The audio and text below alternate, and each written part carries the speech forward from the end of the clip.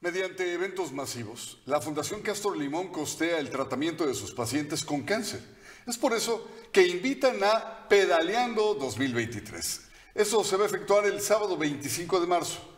Miles de ciclistas recorrerán 60 kilómetros desde Rosarito hasta Valle de Guadalupe para justamente cerrar con una verbena totalmente familiar.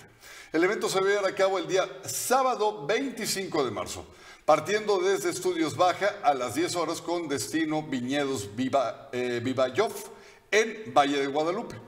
El total de los donativos serán destinados a decenas de niños, niñas y adolescentes con cáncer del Centro Oncológico Pediátrico de Baja California, el hospital creado y auspiciado por Fundación Castro Limónace.